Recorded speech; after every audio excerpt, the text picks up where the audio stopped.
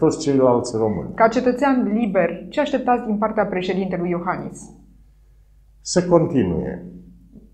Să continue. Dânsul a spus punct și de la capăt. Viața îi va arăta că nu se poate punct. Nici eu n-am putut să pun punct după epoca Iliescu. Și am continuat. Am consolid... În timpul lui Iliescu s-a intrat în NATO. Eu am consolidat poziția României în NATO.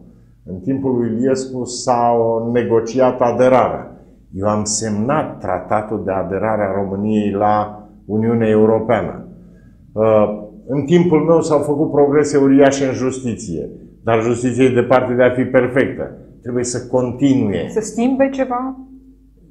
Nu. Uh, acum trebuie să înceapă lupta pentru așezarea judecătorului acolo unde este locul.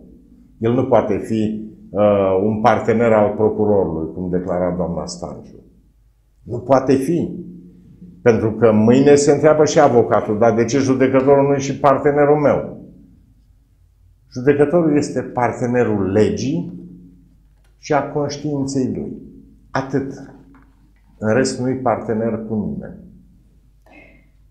Există... Și acest lucru trebuie dezvoltat ca și eu sunt convins că dezbaterea publică pe care am provocat-o cu privire la justiție va uh, ajuta la uh, va ajuta societatea să înțeleagă ce înseamnă de fapt un sistem de justiție și că singurul care face justiție este judecătorul.